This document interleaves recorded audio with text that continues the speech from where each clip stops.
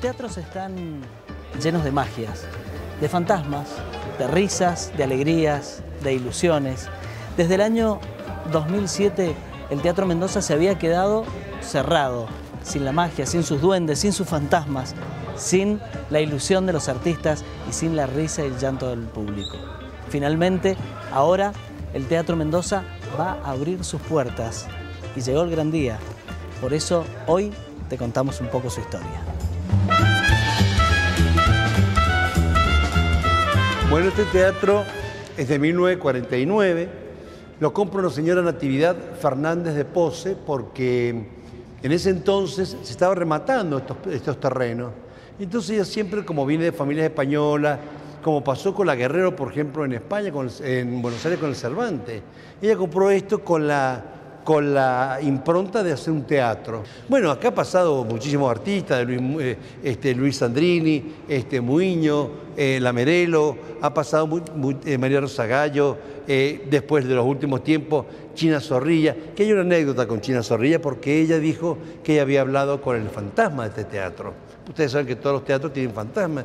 Y en este teatro también ella habló con ese fantasma para que la dejara trabajar tranquila, que no le va a molestar, al contrario. Iba a decir unas dulces palabras este, para dedicárselas a él.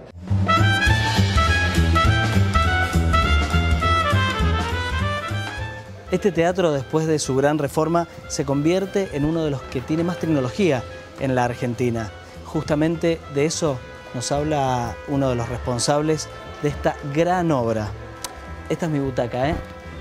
Cuando quieran, que empiece la función. Primero que se empezó a trabajar, como ustedes saben, fue los problemas estructurales que tenía el, edificio, entonces se hicieron trabajos de refuerzos estructurales. A partir de allí que pudimos recuperar eh, el edificio como estructura en sí, eh, fue que empezamos a trabajar sobre un proyecto bastante ambicioso para ponerlo, recuperarlo completamente.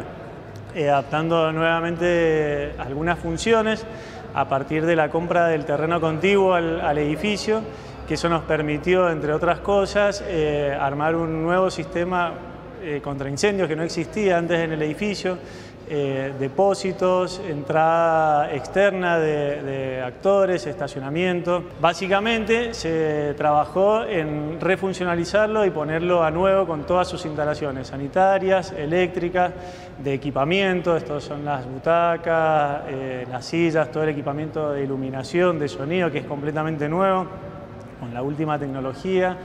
El equipo termomecánico también es nuevo, entonces tenemos refrigeración y calefacción por aire, eh, que también nos permitió el terreno contiguo poder instalar todos estos equipos. Se hizo un arreglo completo de la cubierta de techo, de aguas pluviales, y, bueno, se refuncionalizaron eh, los sanitarios, eh, los camarines, y eh, pudimos ampliar también la capacidad de, butacas. El monto total aproximado de la obra es de 65 millones de pesos. Cabe mencionar que, bueno, acá tuvimos ayuda y el financiamiento del gobierno nacional junto con el municipal eh, y el provincial, entonces bueno, realmente se pudo hacer una, reforma como queríamos y, bueno, y poder darle sobre todo vitalidad a la vía urbana de esta, de esta calle, recuperar este edificio público para nosotros es muy importante para que la gente nuevamente pueda, pueda venir al, centro y, bueno, y tener actividades culturales en él.